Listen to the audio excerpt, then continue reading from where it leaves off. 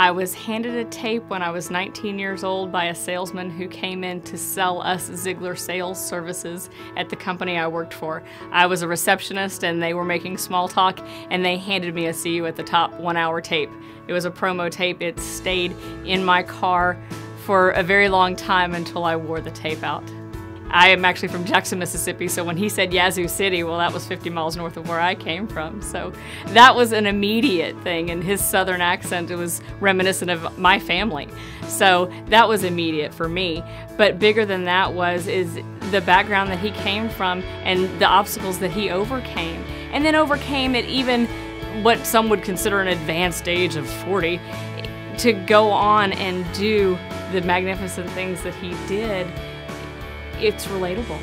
You can absolutely relate to it. When I was exposed to him initially, I was at a very bad place in my life, and it really buoyed me through those years that it seemed, things seemed very despondent for quite some time. My life had done a 180, and, and what I thought was going to happen wasn't going to happen and I had no idea what to do. So it was like he was a guiding star. That one hour tape guided me for a very long time.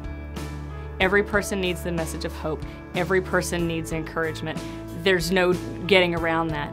And so to have that ability to be able to go out and share that message is very powerful.